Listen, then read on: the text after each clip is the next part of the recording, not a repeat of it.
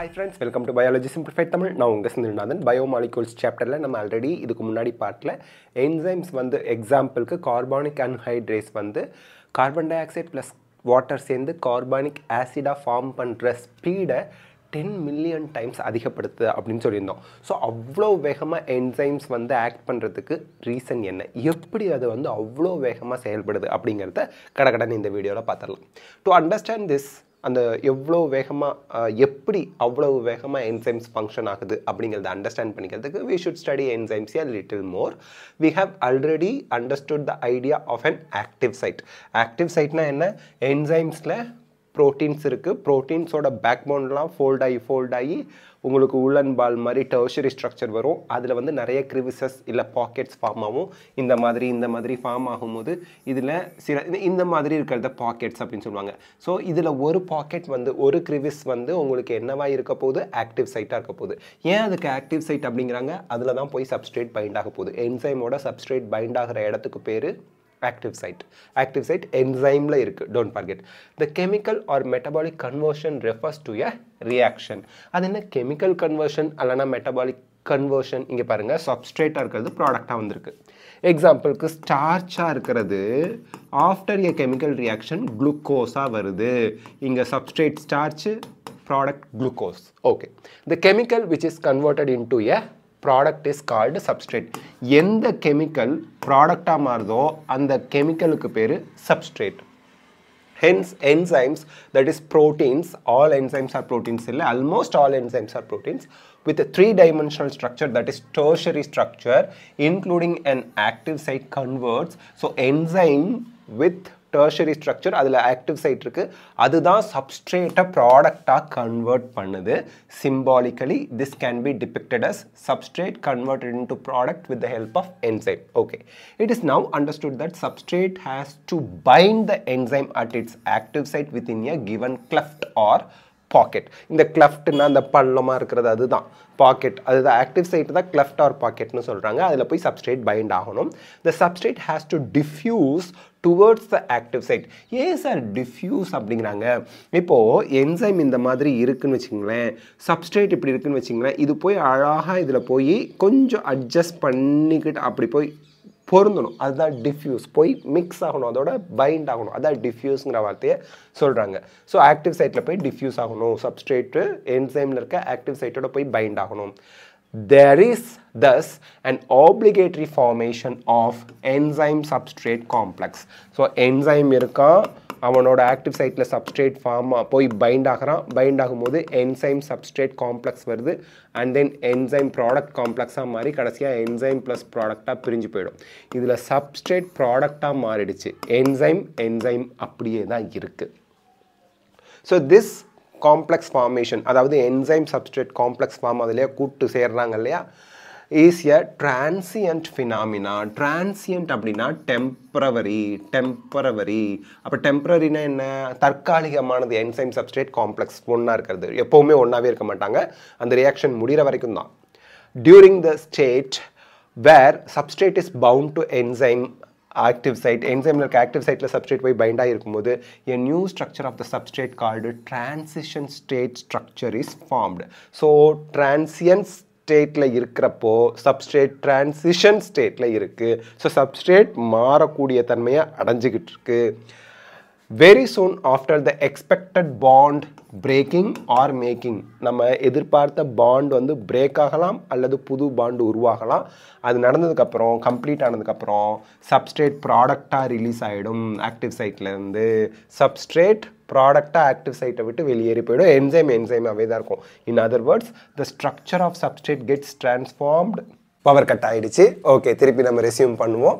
So in other words the structure of substrate gets transform into structure of product இங்கே சப்ஸ்ட்ரேட்டோட சப்ஸ்ட்ரேட்டுக்குன்னு ஒரு structure இருக்கும்.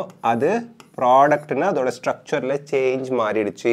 ஸ்ட்ரக்சரில் சேஞ்ச் ஆனதுனால தான் சப்ஸ்ட்ரேட்டை நம்ம ப்ராடக்ட்னு சொல்கிறோம் சப்ஸ்ட்ரேட்டாக இருக்கும்போது அதுக்கு என்ன ஸ்ட்ரக்சர் இருந்துச்சோ அது மாறி போயிடுச்சு. அப்போது அதில் சேஞ்ச் நடந்ததுனால ஸ்ட்ரக்சரில் சேஞ்ச் நடந்ததுனால சப்ஸ்ட்ரேட்டை இப்போ நம்ம என்னன்னு சொல்ல போகிறோம் ப்ராடக்ட்னு சொல்ல போகிறோம் இதை தூண்டி விடுறது யார்? Enzymes okay the pathway of this transformation must go through the so called so called transition state structure இந்த இடத்துல டிரான்சிஷன் ஸ்டேட் ஸ்ட்ரக்சரை கோ த்ரூ பண்ணினா தான் substrate ப்ராடக்டாக மாறப்போகுது.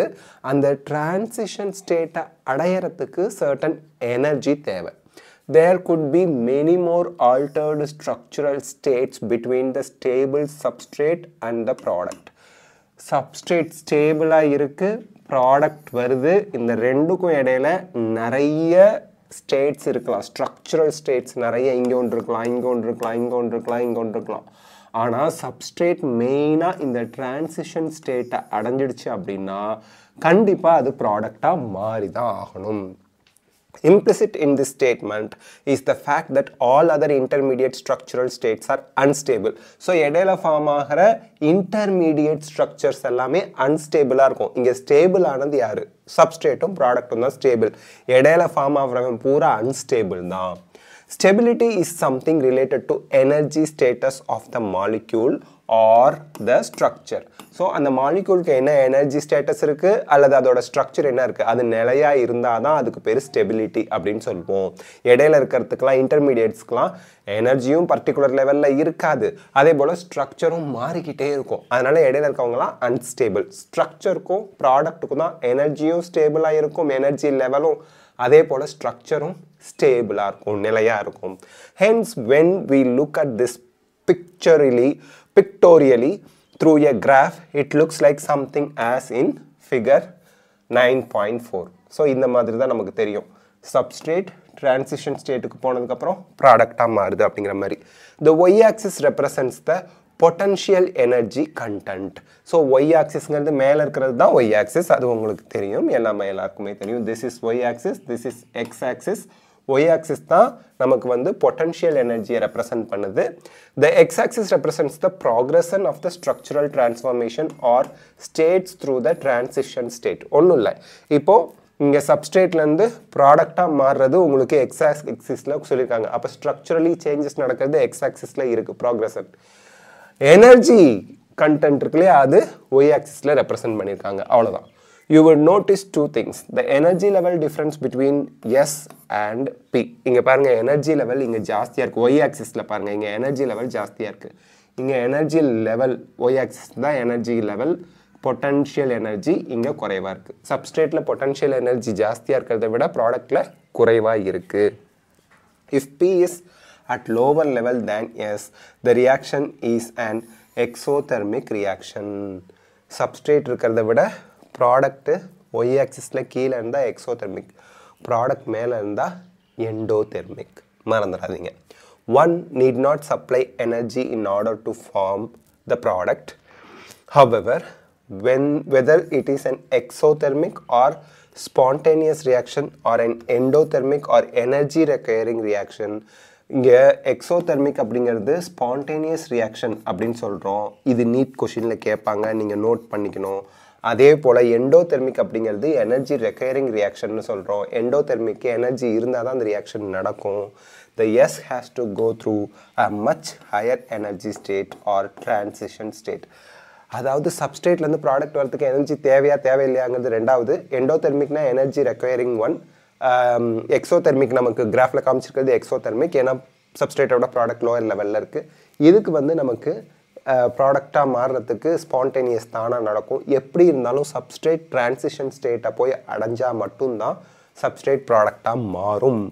Okay the difference in average energy content of S from that of this transition state is called activation energy so இங்கே இருக்கிற energy level இங்கே இருக்கிற எனர்ஜி லெவல் ஸோ இந்த எனர்ஜி லெவலை தான் நம்ம ஆக்டிவேஷன் எனர்ஜிங்கிறோம் சப்ஸ்ட்ரேட் டிரான்சிஷன் ஸ்டேட்டுக்கு போகிறதுக்கு தேவையான energy activation energy okay next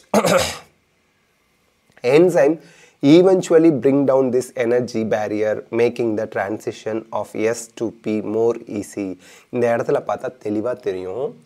activation energy அதாவது சப்ஸ்ட்ரேட் இந்த இடத்துக்கு வந்துச்சுனாலே டிரான்சிஷன் ஸ்டேட் தான்.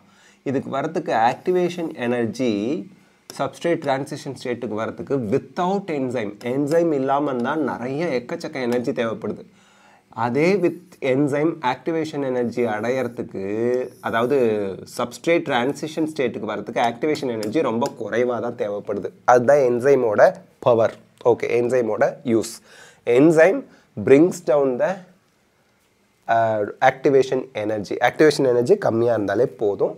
சப்ஸ்ட்ரேட் டிரான்சிஷன் ஸ்டேட்டுக்கு போயிடும். That is very important okay sir transition ஸ்டேட்டுக்கு போயிடுச்சுன்னா சப்ஸ்ட்ரேட் என்னவா மாறிடும்? ப்ராடக்டாக மாறிடும். ஓகே இப்போ நம்ம பார்க்க போகிறது nature of sorry Kannamaran okay okay nature of enzyme action. Each enzyme has a substrate uh, binding site ஒவ்வொரு என்சைம்லையும் சப்ஸ்ட்ரேட் போய் பைண்ட் ஆகிறதுக்கு அதான் activation site sorry active site அப்படின்னு சொன்னோம் இல்லையா? பாக்கெட் கிரிவிசஸ் ஆக்டிவ் சைட் அப்படிலாம் சொல்லுவோம். Each enzyme has a substrate binding site in its molecule so that a highly reactive enzyme substrate complex is produced so reactive அப்படின்னா அங்கே chemical reaction நடக்குது. என்சைமில் இருக்க ஆக்டிவ் சைட்டில் அதாவது சப்ஸ்ட்ரேட் பைண்டிங் சைட்டில் போய் சப்ஸ்ட்ரேட் பைண்ட் ஆகி என்சைம் சப்ஸ்ட்ரேட் காம்ப்ளெக்ஸ் ஃபார்ம் ஆகுது. This complex is short lived இந்த காம்ப்ளெக்ஸ் கண்டினியூவாக இருக்காது. ஏன்னா ரியாக்ஷன் நடந்துக்கிட்டே இருக்கும். And dissociates into products and unchanged enzyme with an intermediate formation of enzyme product complex இந்த இடத்துல என்ன சொல்கிறாங்க ஃபஸ்ட்டு என்சைமும் சப்ஸ்ட்ரேட்டும் சேருது. என்சைமில் சப்ஸ்ட்ரேட் பைண்டிங் சைட்டில் போய் பைண்ட் ஆகி என்சைம் சப்ஸ்ட்ரேட் காம்ப்ளெக்ஸ் வருது. இது ஷார்ட் லிவ்ட் கொஞ்ச நேரம் தான் இருக்கும். அதுக்கப்புறம் என்சைமும் ப்ராடக்ட்டும் தனித்தனியாக போயிடுது. என்சைம் அன்சேஞ்சாக இருக்குது இந்த ரெண்டுக்கும் இடையில இன்டர்மீடியட் என்சைம் ப்ராடக்ட் காம்ப்ளெக்ஸ் இந்த ரெண்டுக்கும் இடையில ஃபார்ம் ஆகுது அப்படிங்கிறாங்க. அவ்வளவுதான். The formation of enzyme substrate complex is essential for catalysis. Catalysis அப்படின்னா அந்த ரியாக்ஷன் நடக்கிறத தூண்டி விடுறது அந்த ரியாக்ஷன் நடக்கணும்னா என்சைமோட சப்ஸ்டேட் போய் பைண்ட் ஆகணும் the catalytic cycle of an enzyme action can be described in the following steps one ரொம்ப சிம்பிள் இதை தான் கொடுத்துருப்பாங்க substrate binds to the active site of the enzyme substrate என்சைமோட active சைட்டில் போய் பைண்ட் ஆகுது fitting into the active site. Substrate enzyme சைட்டோட sorry enzyme இந்த இடத்துல நீங்கள் பாருங்கள் என்சைம் இப்படி இருக்குது அப்படின்னா சப்ஸ்ட்ரேட் இப்படி இருக்குது சாரி ஆ சப்ஸ்ட்ரேட் இப்படி இருக்குன்னா சப்ஸ்ட்ரேட் என்சைமோட ஆக்டிவ் சைட்டில் போய் பைண்ட் ஆகுது. இதுதான் ஃபஸ்ட்டு ஸ்டெப்பு ஓகேங்களா next the binding of the substrate induces the enzyme to alter its shape fitting more tightly around the substrate so enzyme இருக்குது இந்த மாதிரி சப்ஸ்ட்ரேட் இப்படி இருக்கான். ஃபஸ்ட்டு ஸ்டெப்பில் என்சைமோட சப்ஸ்ட்ரேட் போய் பைண்ட் ஆகிறான். இன்னும் நல்லா என்சைம் வந்து சப்ஸ்ட்ரேட்டோட டைட்டாக பைண்ட் ஆகிக்குது ஓகேங்களா tightly around the substrate enzyme வந்து ஃபிட் ஆயிக்குது. அதில் இருக்கக்கூடிய active site the active site of the enzyme now in close proximity ப்ராக்சிமிட்டினா nearby arrange ஆயிருக்கிறது. ரொம்ப பக்கத்தில் arrange ஆகிருக்கிறது of the substrate breaks the chemical bonds or make the chemical bonds எப்படி வேணா இருக்கலாம் of the substrate and the newly enzyme product complex formed என்சைமில் இருக்கக்கூடிய active சைட்டில் substrate போய் bind ஆகுது. அந்த பைண்டிங் வந்து டைட் ஆகுது. இப்போது பவுண்டு பிரேக் ஆகி என்சைம் ப்ராடக்ட் ஃபார்ம் ஆகுது.